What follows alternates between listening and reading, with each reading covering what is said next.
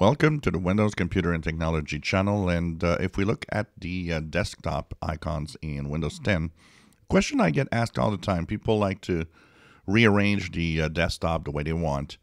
And often they want to position the icons the way they want. But um, a lot of people don't fully understand why icons react the way they do. And that is um, not mysterious. It's just that there's a few of the options available that might actually uh, not necessarily be what you want in rearranging uh, desktop icons. So when you right click on your desktop, first of all, the first option at the top is view. And this is where you have a lot of options or most of the options where you will actually have your icons aligned the way you want. Now, first of all, you can show or hide the icons on your desktop. Um, you might have noticed on my videos, I hide all the icons. There's never icons on the desktop. It is because it is distracting in a video.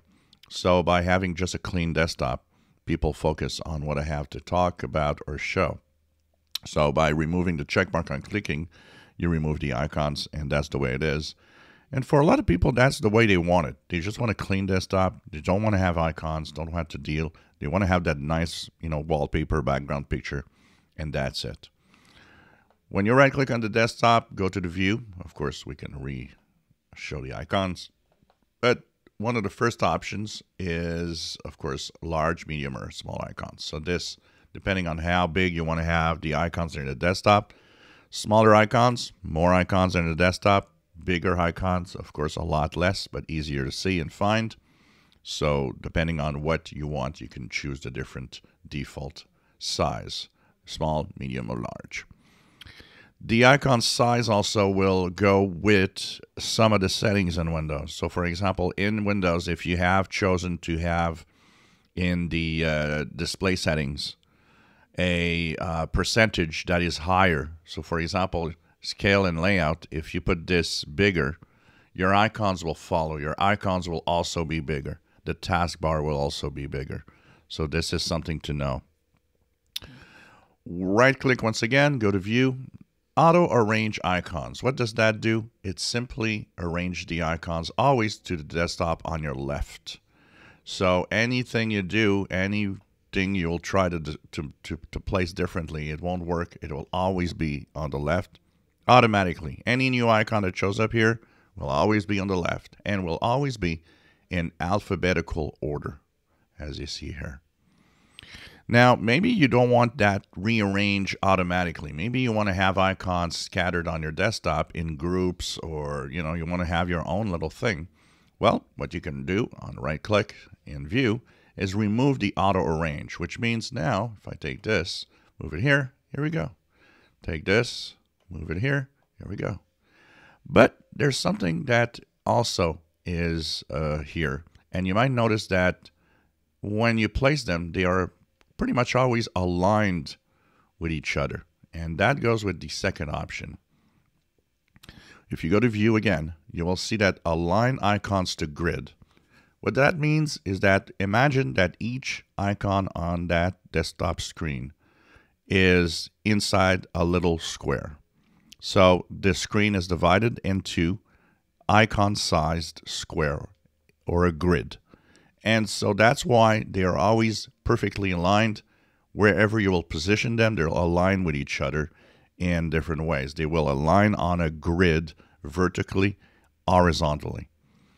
But maybe you want to have them, you know, because if when it's like this, if I move this one just slightly here, notice that it positions back itself here. Unless I'm in the next grid, well, it's going to go to the next grid. But it always follows a specific grid. But maybe you want it just like this instead.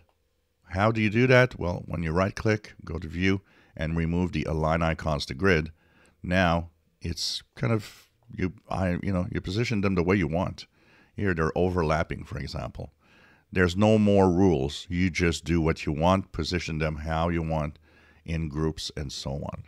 And of course, if you want them back in a alphabetical order automatically, all you have to do is put the check marks back to arrange, uh, auto arrange icons. and if you want them to follow a grid when you move them, if you ever move them around, which they do automatically, I believe, in the auto arrange icons, you can align with grid. So these are all the options to move around your icons on the desktop.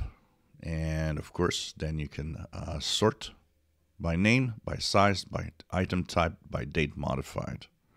So if you assign if if you assign them by size, they will change. The order will change. If you sort them by item type, again it changes. Sort them by date modified or when you put them on your desktop, and of course, you can sort by name for alphabetical order. Once again, so hope that this little tutorial on the way that icons behave on your desktop is uh, helpful to you. One word of caution, when you auto align and auto, uh, you know, it's, it's fine. Things are always correct. But if you use a free form, like I was showing that you can position the icons wherever you want, um, one thing can happen with that. The free form has rules and it goes with the resolution of your desktop. For most people, it's not a problem.